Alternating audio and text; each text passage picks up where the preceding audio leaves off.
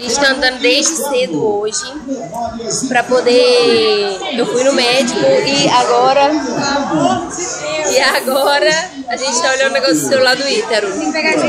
Tentar fazer agora um bolo com biomassa de banana verde. Vamos ver o que, que vai sair desse trem. Ó, tô usando cinco ovos. Primeiro vou bater cinco ovos, mais três colheres de sopa de óleo de coco. Vou fazer com óleo de coco. Na receita original era azeite.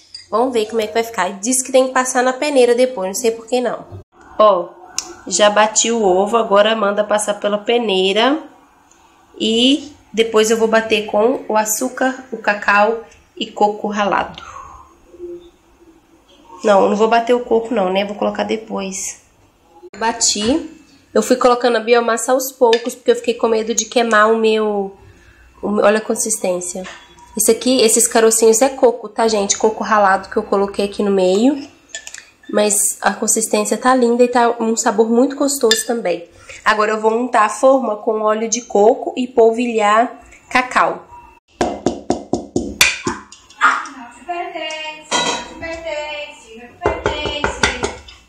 É a minha irmã doida, tá, gente?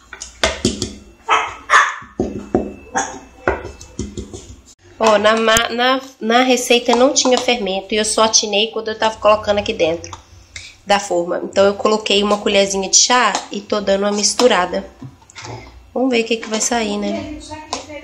Mas a massa ficou gostosa. Agora eu vou separar essa biomassa, vou separar em uma xícara e vou congelar nos saquinhos aqui, para não estragar, porque dura 3 a 4 dias na geladeira e é, 3 meses ou 6 meses no congelador. Olha, a, a, receita que eu fiz deu 4 xícaras. Uma xícara eu usei para fazer o bolo e essas três eu vou deixar congelado agora para eu poder utilizar nas próximas receitas. Vamos ver como é que ficou esse bolo? Ó, bonito ele tá, viu, gente? Ó, tá bonito. Será que já tá bom? Ó, tá saindo limpo. Esperar desinfor... Vou esperar esfriar um pouquinho. Mas ele deu uma murchadinha depois que eu tirei do forno. Esperar esfriar um pouquinho para depois desenformar. Ó, na hora que eu fui desenformar, ele meio que agarrou e parece, olha, que tá meio úmido. Tá dando pra vocês notarem? Sabe o que eu vou fazer? Eu vou voltar com ele pro forno. Já preparei meu kefir todo dia. Agora, ó, vai pra garrafinha 300ml. Se meu marido não quiser, eu tomo amanhã. Para variar, eu abri o bolo, o forno antes do bolo ficar pronto. Vocês viram lá, né? Olha como que ficou.